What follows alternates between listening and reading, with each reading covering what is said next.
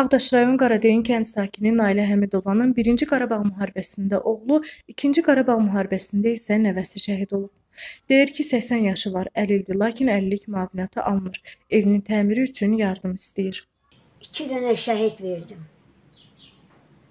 Biri sifdə müharibəyə verdim, birini ikinci müharibəyə. Mən öyüm başıma uçur. Mənim öyümün təmirinə nə olar? Mənə köməklik edin.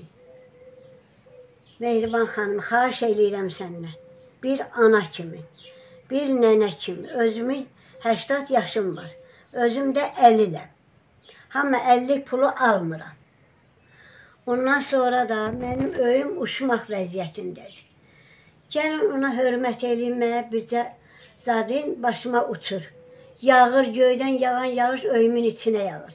Nə olar? Gəlin mənə bircə dənə təmirimə köməklik eləyin. Bizə sizdən bundan xahiş edirəm. Nailə Həmidovanın həmkəndlisi Zaur Nəsirli isə bildirir ki, məsələ ilə bağlı aidiyyatı qurumlara, ələlxüsus da Yaşad fonduna müraciət etsələr də nəticəsiz qalıb. Ağdaş rayon Qaradeyin kəndində yaşayan oğlunu və nəvəsini bu vətən torpağında şəhid vermiş anamız, yəni iki şəhid anası Həmidova Nailə Pirim qızı haqqındadır. Yəni şəhid anasının hal-hazırda yaşadığı ev qəzalı vəziyyətdədir. Hər yağış yağdığında, yəni evin içərisinə yağır yağış.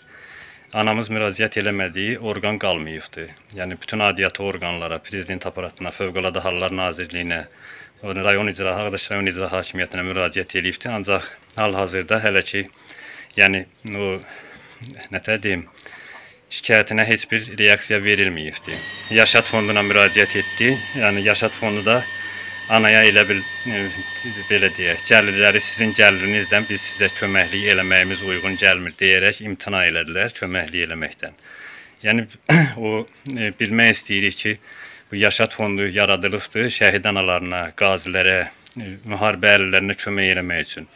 İki şəhid vermiş o necə deyim, vətən yolunda iki övladını qurban vermiş anaya əgər bugünkü gündə evi qəzalı vəziyyətdə, başına uçmaq vəziyyətindədirsə, onun elə bil yağış yağanda üstünə yağırsa yağış, bu ayrı kimə kömək eləmək üçün yaranıb bu orqan? Yəni çox maraqlıdır.